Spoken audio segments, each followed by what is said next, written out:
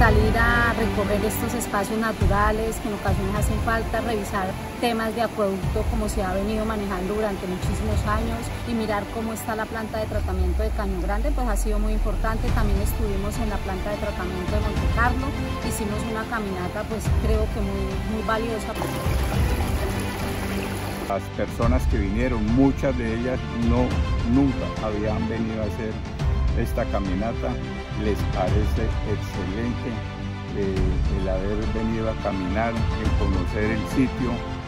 Ha sido muy bonito para mí porque yo por lo menos yo vivo aquí en Villavicencio hace más de 20 años y yo desconocía este lugar. Entonces eh, admiro y me les quito el sombrero a las personas que están detrás de este tema de la, del acueducto porque sé que hay gente luchadora y están, es con un solo propósito, el bienestar de toda la comunidad.